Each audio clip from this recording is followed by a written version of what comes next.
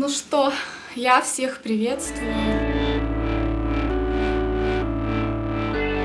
Решила сегодня снять видео. Мне не очень прям хорошо. Я не знаю, что у меня. Ну, я подозреваю, что я просто простыла, наверное. У меня на лице простуды и от сладкого меня обсыпало. Я сегодня приоделась, примарафетилась, чтобы вам было приятно. Да, кому не нравятся такие затянутые вступления, можете промотать немножко. Как вы догадались из названия, сегодня будут ответы на вопросы. Я не могу обойти стороной некоторые вопросы. Это даже не вопросы, это комментарии. Их было много, они были разные, и я из этих всех комментариев делала три вопроса. Сегодня буду отвечать на них целом, мои впечатления об отдыхе. Я, в принципе, уже с сестрой снимала подобное видео, и повторяться не буду. Мне понравился отдых, и мне понравился именно такой более дикий отдых, не какой-то вот распланированный, запланированный. Мы собирались ехать э, с чемоданами, заморачиваться, но в последний момент вот э, идея как раз-таки была моей сестры э, собраться, поехать налегке с рюкзаками. Я была только за. Я, в принципе, так и собиралась, потому что, ну, не, нечего с собой брать на отдых, кроме шорты, сланцы и купальник. И я рада, что все так получилось. Мы провели чудесные я не знаю, сколько дней отдыха, чудесное время провели. Не все было, конечно, гладко, были и э, недомолвки между собой. Э, ну, это, это везде так. Мы, в принципе, так э, живем даже не на отдыхе. Мы живем в повседневной жизни так, мы спорим вечно с сестрой, мы э, с малыми все время ругаемся, потому что они хотят одного, взрослые хотят другого. Это у всех так. Понравился больше Геленджик, чем Анапа. Если бы планировала следующий отдых, я бы, конечно, хотела бы везде побывать, но в Геленджике я на сто процентов уверена, что туда стоит ехать.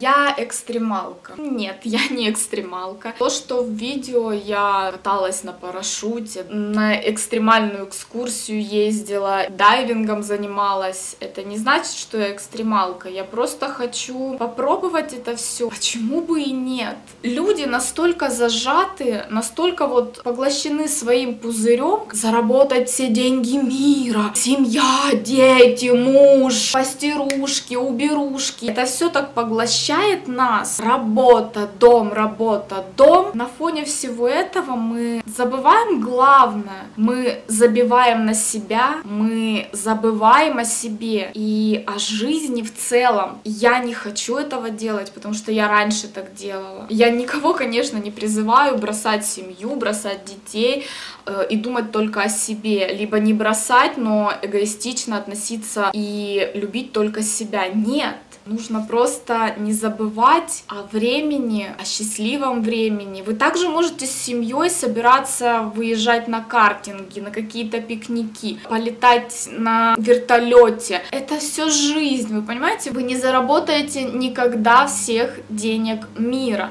Даже если у вас их много, это не значит, что вы, во-первых, счастливы, во-вторых, что у вас есть именно все, что вы хотите, потому что зачастую у таких людей нет ничего, кроме денег. Человечность, она просыпается именно у простых людей, и она есть у простых людей. Вот чем вы проще, независимо от того, что у вас есть. Знаете, не, не так, как люди говорят обычно, будь проще, и к тебе люди потянутся. Это да, но не из-за этого люди к тебе тянутся, а из-за того, что ты принимаешь жизнь именно вот так, ну, не нервничать по пустякам, это, конечно, мне кажется, уже избито так говорить. Просто внесите в свою жизнь какие-то краски. Сделайте свою жизнь ярче. Не нужно, конечно, лазить по горам, начинать с этого. Вы можете начать просто с того, чтобы своей семьей, пусть она даже большая, ходить по вечерам в парк гулять. Если у вас нет рядом никакого парка, просто выходить и гулять по улице. Это очень полезно, во-первых. Во-вторых, это семью как-то сплочает. Я лично за то, чтобы семья проводила вместе время. Просто не забывайте о себе, не забывайте о тех моментах, которые вы теряете, прозябая вот в этой пучине а, зарабатывания денег э, всего мира. Да, кто-то там может сказать, что да ты не работала, ты не знаешь, как это и что это. Э, извините меня, а как я тогда жила до этого все время? Ну да, можно говорить все что угодно, и есть такие личности, которые там отзываются обо мне плохо. Но опять же, эти личности меня знать не знают.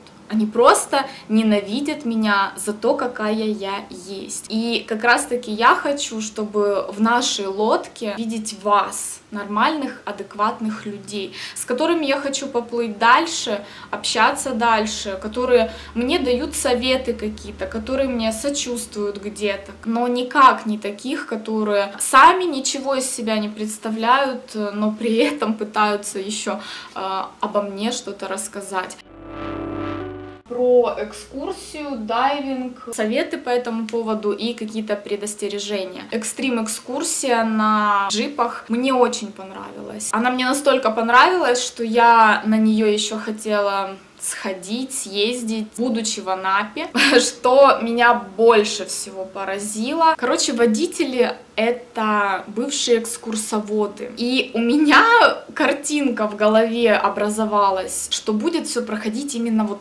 так, мы подъезжаем к какому-то очередному месту, и останавливается джип, он выходит, там что-то рассказывает нам, и мы идем дальше. Но на самом деле нам пришлось, ну, в частности мне, может быть, кто-то те, кто с нами ездили, они все знают, ну, по крайней мере, может быть, читали, слышали. Я, допустим, не читала, не слышала про эти места, где мы были. И мне приходилось просто клещами, наводящими вопросами вытаскивать информацию из водителя. Ну, я не знала еще у кого спросить, куда мы идем. Ну, на водопад мы идем. Что за водопад? Нам давали определенное время на пофоткаться, там, поснимать. Есть такие, которые вообще не давали времени на это. Люди, конечно, бывают разные нам попался экскурсовод нормальный, если не считая того, что он экскурсию как таковую не проводил. На такие экскурсии берите удобную обувь, я уже говорила об этом. Запасные какие-нибудь сланцы, чтобы когда после воды вы выходите, вы же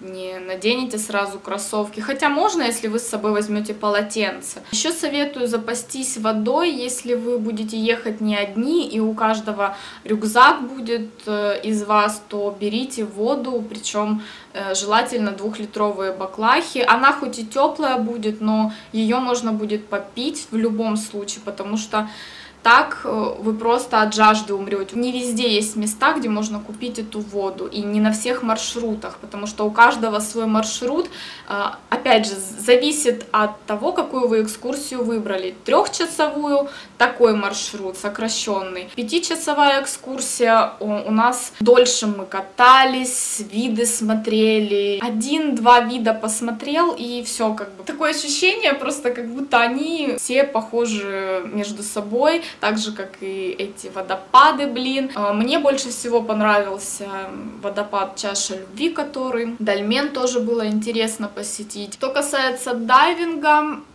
это тоже очень такая познавательная процедура была. Я тоже еще хотела в Анапе это все посетить дело, но не рискнула, потому что все попробовав в Анапе, в Геленджике уже нечем будет заниматься. Я решила так, и мы распланировали. Мы э, в Анапе покатались на банане, э, мы думали, там просто по хардкору будет, но так как с нами были дети, хардкора никакого не было. А потом мы на парашюте с племянником пролетели. Тоже такой некий экстрим, потому что я боюсь жутко высоты. И может быть вы скажете, зачем я тогда залезла на этот парашют. Э, опять же, нужно воспитывать в себе какую-то выдержку. Нужно э, работать над собой. Еще в, на Украине э, работала на заводе. Нужно было иногда находиться на высоте. Я в себе это искоренила просто. Я не боялась особо высоты. Да, я когда вот первоначально подходила к краю, чувствовала себя неловко, а потом быстро это куда-то уходило, потому что ты занят работой. Вот здесь, в принципе, то же самое. Нужно работать над собой, над своими страхами, нужно им смотреть в лицо.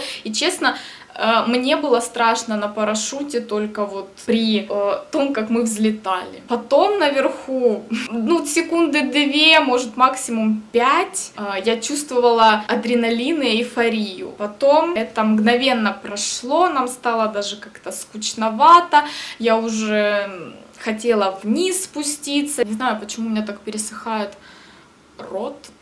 Дайвинг мне понравился, я советую, но опять же, как я уже упоминала, вы должны быть не больны, у вас не должны быть никакие давящие железки, пломбы какие-то. Как мне сказали, с этим тоже нельзя. В принципе, у меня уши с детства были больные, я чуть не оглохла в детстве. Инструктаж мне был понятен, я соблюдала в ну, пыталась, по крайней мере, соблюдать э, то, что нам рассказывали, то, что нам показывали, и перед погружением я спросила все, переспросила заново. Мне просто писали такой комментарий, что я, наверное, что-то э, что, -то, сделала неправильно, поэтому у меня и пошла кровь из уха. Но опять же, у меня, допустим, пломбы стоят в зубах, но все обошлось, ничего страшного, просто вот что-то там, наверное, случилось, не знаю, я не ходила к врачу, потому что у меня все быстро, в принципе-то прошло день-два, и все окей было. Я не умерла, я жива и живу и радуюсь дальше. Честно, я бы еще раз повторила это. Техника безопасности в Анапе, допустим,